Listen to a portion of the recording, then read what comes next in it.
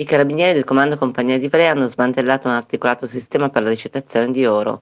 L'operazione si è conclusa con un'ordinanza di applicazione di misura cautelare nei confronti di sei persone ritenute gravemente indiziate del reato di ricettazione.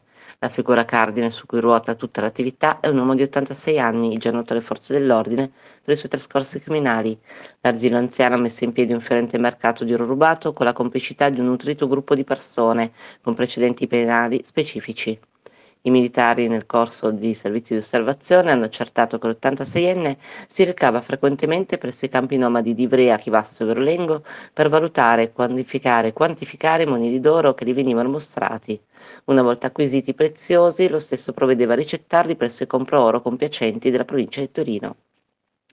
Le operazioni eseguite dai carabinieri hanno permesso di rinvenire a casa del dio dell'oro un bilancino di precisione, una pietra di ispezione dell'oro, una lente di ingrandimento e due fiale di acido reggente per oro, mentre nell'abitazione di un altro indagato sono state trovate cinque ricetrasmettenti.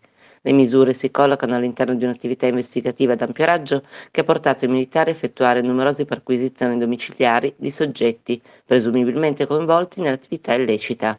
Nel corso dell'operazione a casa di altre tre persone sono state trovate altre cinque reci trasmettenti, 3.700 euro in contanti, pietre di ispezione dell'oro, svariate fiali di acido reggente per oro, un misuratore per anelli, una bilancia di precisione, una macchina contasoldi, vari monili in oro per un peso complessivo di 33 grammi, un finto cartellino di tecnico del gas e delle lettere adesive per targhe auto.